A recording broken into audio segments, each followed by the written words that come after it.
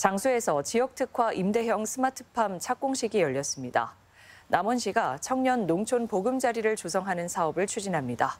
우리 지역 소식 이몽진 기자입니다.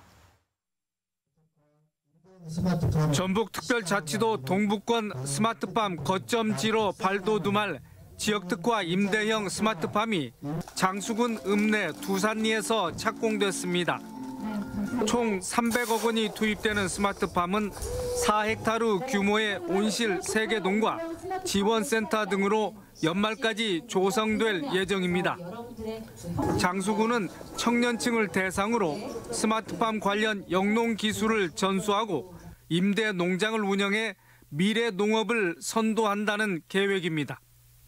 전문 인력을 양성하고 청년농들이 성공적으로 정착할 수 있도록 지원해서 전북특별자치도의 미래농업을 선도해 나가도록 힘쓰겠습니다. 남원 시가 농림축산식품부의 청년 농촌 보금자리 조성 사업 공모에 선정돼 국비 등 90억 원의 사업비를 확보했습니다.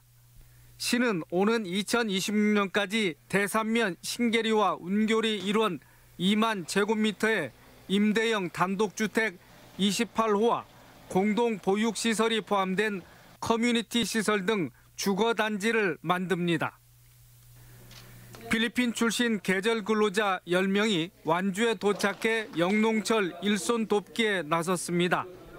당초 인권 침해 등을 이유로 송출을 중단했던 필리핀 당국은 완주군의 요청으로 뒤늦게 송출을 승인해 계절 근로자들은 최장 8개월간 고용 농가와 함께 농작업에 종사합니다. 정읍 시가 청명과 한식 일에 개장 6월 화장 수요가 증가할 것으로 보고 서남권 추모공원의 작업량을 확대합니다.